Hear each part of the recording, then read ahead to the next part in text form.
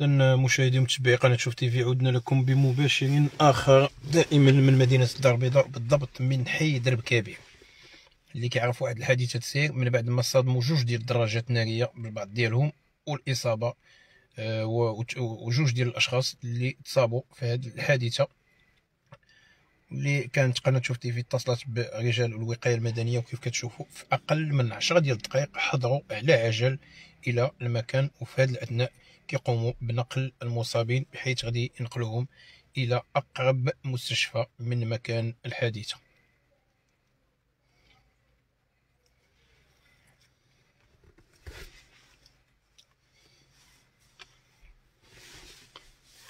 تعمدنا أننا نبقاو بعيد شوية نظرا لأن من بين المصابين طفل صغير كيبلغ من العمر حوالي خمسة ديال السنوات. ممنوع علينا أننا نبينو أو نكشفو على الهوية ديالو. المهم أن رجال الوقاية المدنية في هذا الأثناء كيقوموا بنقل المصابين إلى المستشفى. سعاد أم فارس قالت لك قرب شي شوية غادي نحاولوا نقربوا كنتسناو غير الوقت اللي يطلعوا يتم نقل المصابين.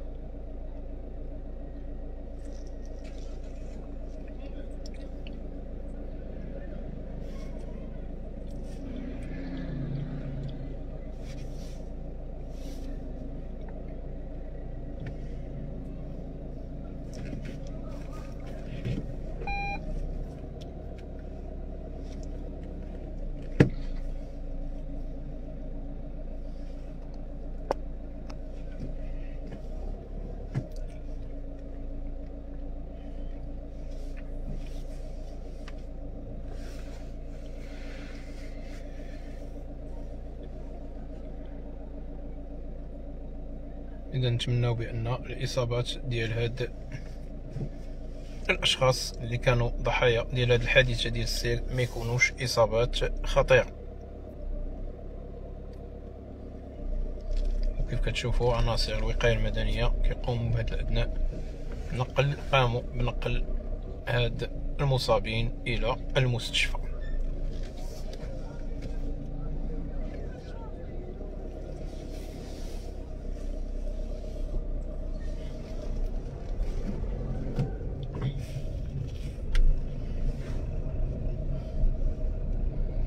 اذا بالنسبة للناس اللي عاد التحقوا بنا في هذا المباشر حادثة سير بمنطقة درب منطقة درب سلطان فيدا بالضبط بحي درب كبير.